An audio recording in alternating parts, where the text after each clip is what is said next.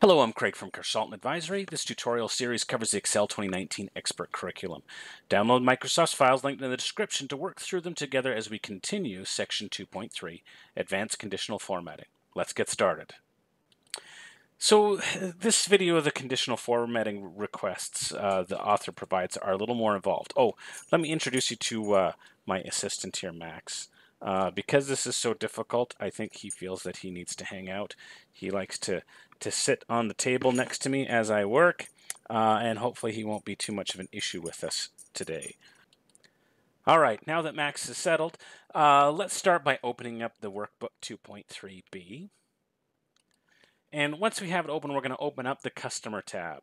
Uh, and with the Customer tab open, uh, what we want to do is create a conditional formatting rule that's going to make the whole row go yellow if the country, which is in column I uh, over here, uh, matches what's selected in cell B1. Uh, so we'll go through how this works here. So the first thing I'm going to do, I'm going to select all of the values in this array.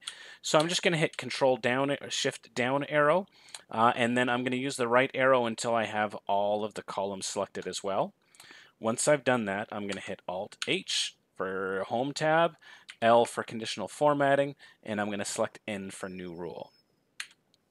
All right, once I'm in here, I'm actually going to down arrow to use a formula, and then I can hit Alt-O, which will take me down into the formula line.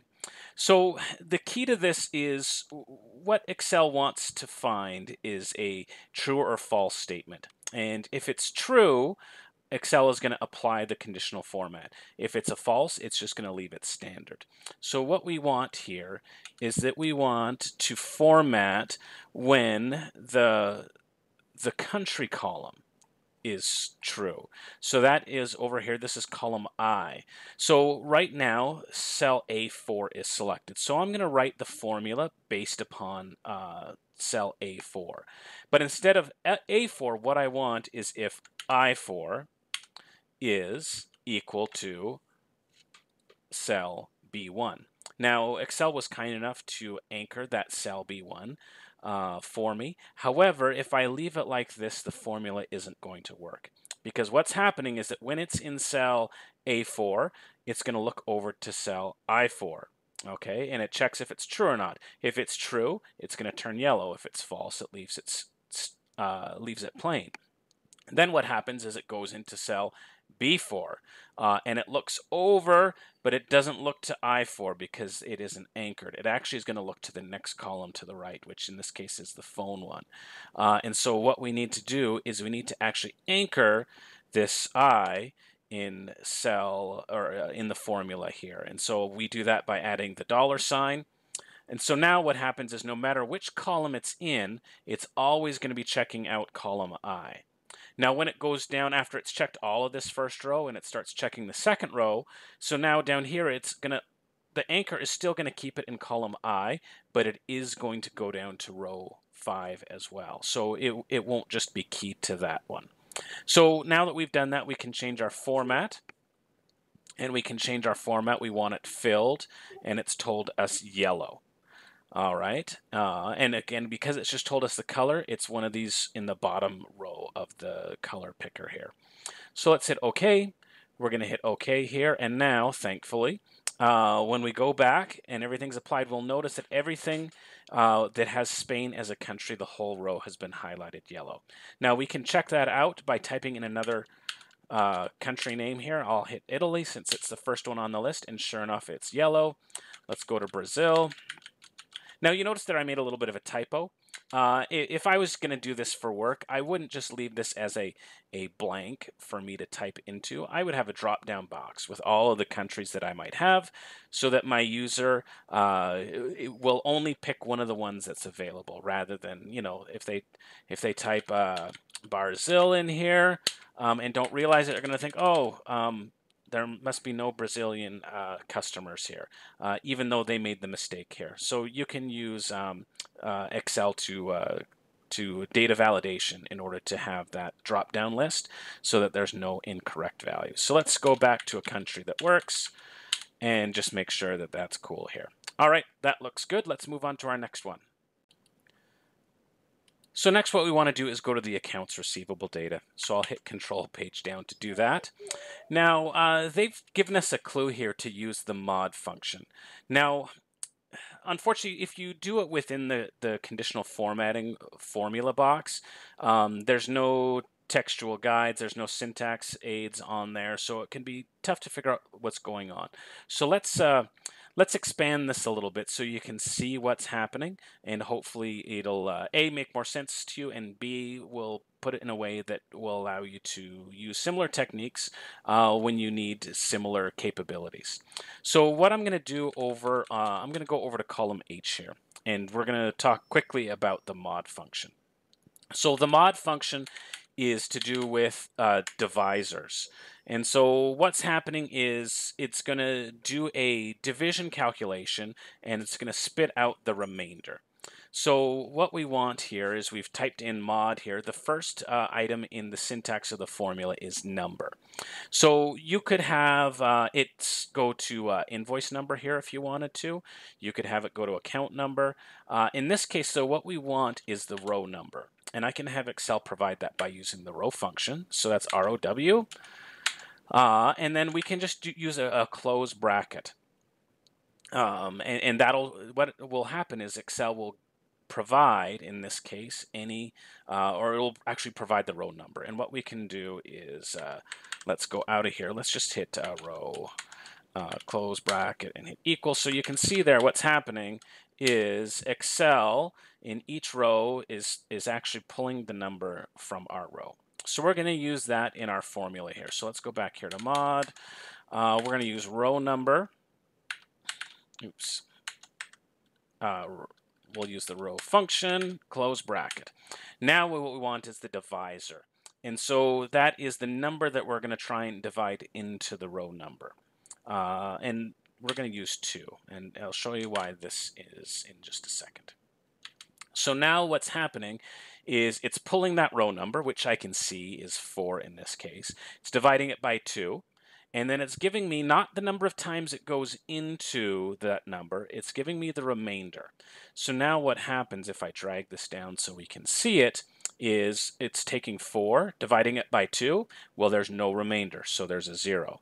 Now it goes to 5. It divides it by 2. Now 2 will go into 5 twice, but there was a remainder, and there, that remainder is the number 1. In 6, there's no remainder. Again, anytime it's an even numbered row, there's no remainder. Uh, so we can see there's now a pattern of zeros and ones. Now Excel assumes, uh, or it assumes is equivalent, a, a 1 is true and a 0 is false. So now in my conditional formatting uh, formula, I have now a pattern of false, true, false, true. So what we can do now is we can select all of these values. I'm going to uh, hit Alt H, uh, L for conditional formatting, N for a new rule. I'm going to go right down to the bottom. And now I'm going to type in this same formula that we had before. So I'm going to hit equals uh, I want the mod function like we had. Now, again, my usual shortcuts of like tabs and such to, to create a formula don't work here. So that's why I often am uh, working in a spare section of my sheet to figure out the syntax. And once I understand it, I then type it in over here. Uh, so mod, and then I want my row function, close bracket, and then my comma. A 2 is my divisor. And so now I know what's going to happen is every row it's going to say is it positive or is it not, and then um, or excuse me, not even if it's a remainder or not. It's if there's a remainder, it's true. It's going to flag it as a uh, uh, filled row. So we're going to apply the light gray fill color. So we can go into format here. Uh, I'm going to use a light gray. Again, that's not a named one, so we're we're left to, to kind of pick whatever color that we want. On the exam, it won't do that. It'll it'll either tell us a position on this grid or it'll give us one of the named ones. It, it won't leave us hanging. So I picked uh, this particular one here, but you could pick that one. It's neither right nor wrong here. I'm going to click OK and OK and let's see what we have. Okay, perfect. Every other row is now uh, highlighted for us. What it wants us to do is to test it by deleting a row. Now, if we were using kind of a normal formula, what would happen is we would delete a row and then you'd actually end up with either two highlighted or two uh, plain rows and it would screw up your formatting. So by using the mod function, we can do something like this. Uh, in fact, you can follow along over here on the right hand side and see what happens. So let's get rid of this particular row here. You'll notice though that my formatting stays uh, looking proper. Even over here on my right, it's automatically adjusted for the new row number, and I still have this pattern of zeros and ones. Uh, you'll notice how they line up. Anytime there's a one here, there's going to be a solid row. So hopefully that helps explain what the author has done there. They kind of just say, hey, use the mod function, but they don't really give any uh, any explanation of why you might want to use it or how it works. Uh, so hopefully that helps a little bit. All right, so let's move on to our next task here. Uh, so we want to move to the products worksheet. Uh, and so again, they've uh, they've made this maybe more challenging than it needs to be. Uh, so what I'm actually going to do here, I'm actually going to do this wrong uh, first off. Uh, just to kind of show you how I, I, would probably typically attack this if I wasn't trying to match what was in the textbook here. Uh, so what we want to do is highlight either the biggest or the smallest values in the range. And with conditional formatting, there's actually uh, some, some techniques to do that automatically for us. So the first way I would do this incorrectly in this case is I would highlight again all my cells. And what I would do is I would go into my conditional formatting, Alt-HL, I'm going to go into a new rule. And you'll notice in here that there is an option here to format only the top or bottom ranked values. So what I would do is I would go in here, format values that rank in the top. I don't want it in the top 10. I just want the, the, the top number. And what I would probably do in my real life is I would highlight that green. Green typically means good. I would click OK and take a look here. And sure enough, it has highlighted my highest value. Now for my lowest value, I would repeat the process, Alt HLR. Oh, excuse me. I'm going to go into a new rule, top or bottom. And this time, instead of top, I'll select bottom. I'll go number one. And I'll go format, make that a red fill, and click OK. And so now I have my low value and my high value highlighted for me. So that that's what I do, but that's not what the author wants. So that would be kind of the simple fix. If your boss wanted it done, that's probably how I would do it. Now it fails in two ways for what the author wants here. First, it will only actually show the high value. It doesn't highlight the whole row. Now in, in a case like this, it really it really doesn't matter because it's just two columns. But if there was uh, 15 or 20 columns, you would probably want them all highlighted, in which case this wouldn't work. The other thing is they want them highlighted in the same color, which I don't know if I, I think that's necessary, but uh, that's what they've asked. And if the exam wants you to do it that way, so be it. I will behave. Uh, so what we can do is let's clear all of these values here. I'm going to go to conditional formatting. I'm going to clear rules, and I'm going to clear them all from the selected cell. So now I know we're starting from a blank slate here. So now what I need to do is come up with a logical statement where one of two things can be true rather than both. Since it's either of two things, I can get away with using an OR logical uh, test rather than an AND. If I used an AND, they would both have to be true. But I only want to know if it's either the biggest or the smallest, uh, not some combination of the two. So let's try and uh, break this out here. So we're going to hit equals, and we're going to start with our OR function. Now we want our first logical test. Uh, so let's start with our finding our biggest. And we want to find the biggest in this particular range. I'll hit F4 to, to anchor that. And uh, what I'm testing is if the value in this column, uh, in that particular row, is equal to the biggest in this selection. So I'm going to now pick uh, cell B2. But if I leave it like this, uh, it's not going to apply to both columns uh, because it's not anchored. So I'm going to anchor the column. Excuse me here. Uh, I'm going to anchor the column to column B by using a dollar sign. So that has my max figured out, and I'm going to repeat it with the min. Uh, and I'm going to use the same uh, way of selecting my cells here, F4 to anchor. And again, if it's equal to cell B2. All right, so now that that's done, I can hit enter. and it tells me false. So let's test this out here and drag down. And sure enough, every time I drag it down, it's checking each each column or each row to see if it's the biggest. And sure enough, when I get down to this negative 19.3, it shows me that it's true. Now that works if I drag it up and down here. Let's test it out if it works if I go left to right. Um, so I'm going to drag this to the right, and sure enough, it still tells me that this was true. So if we can imagine that we're running a conditional formatting, uh, and uh, uh, the conditional formatting is checking whether the statement is true or false. If it's false, it leaves it blank. If it's true, it's going to highlight it. So we could see that all of these true values would get highlighted for us. Uh, let's drag this all the way down here and see if it picks up our second value. All right, uh, let's see what we can find. Okay, and there's our next true. Now, you can see why colors are helpful because it would find this a lot quicker. So now that we're comfortable that our statement is working, and sure enough, it works for the whole row, uh, we can now, uh, the simple way to do this is I can go into my top cell here.